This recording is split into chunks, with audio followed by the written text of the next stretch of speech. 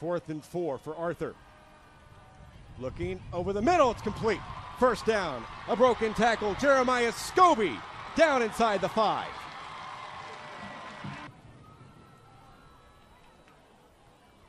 Keeper, Arthur. Touchdown! A terrific drive by the Dickinson Gators as they march down the field in the power I.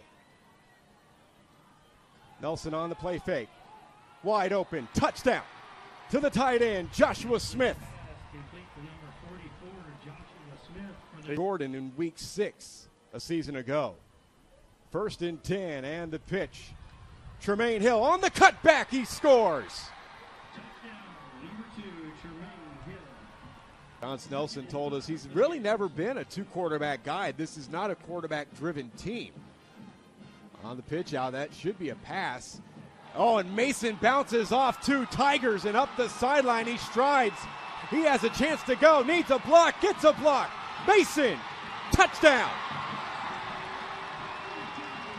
And we'll keep an eye on Joshua McMillan. Seemed late to get up back in Dickinson's right around the point of attack as up. Tracking it down, now dropping it into the end zone. Dickinson is going to just swallow the returner up.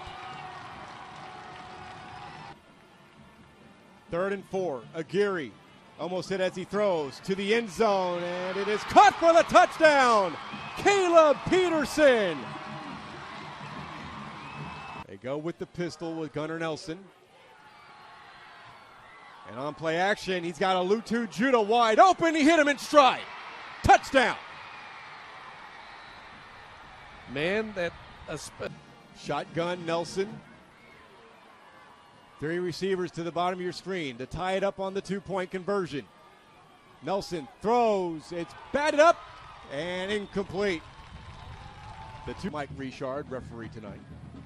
And the handoff goes to Tremaine Hill. Shakes a couple of tackles, shakes a third, a fourth, reaches to the pylon. He's in. Touchdown, Katy. And they're back in front. Try to put it in the hands of Archer. Uh, Gary will kick it away. oh, Oh, it did it again! And it bounced right into the arms of a Gator and in for the touchdown. I've never seen anything like this. Dancing. Arthur. Touchdown. And now Dickinson has claimed the lead again. I mean, if you're going to give a lined up, Mason in motion to keeper for Arthur, and he goes in for the two-point conversion. And so Dick retries, going all the way back to the playoffs in 2008. Second down, 17. Pistol for Nelson. Up top, he lets it fly, and it is caught in stride, down to the five-yard line. And again, it's a low two Judah as he was working against off uh, outside linebacker Richard Lee. yeah, linebacker's not going to be able to cover that, Mike. And one on one with the Lotu Judah, easy. Just like the touchdown. 94 yards, three receptions, and a touchdown for Israel Alotu Judah. First down and goal for Katy. Inside eight minutes to go, and they are five yards away from taking the lead again.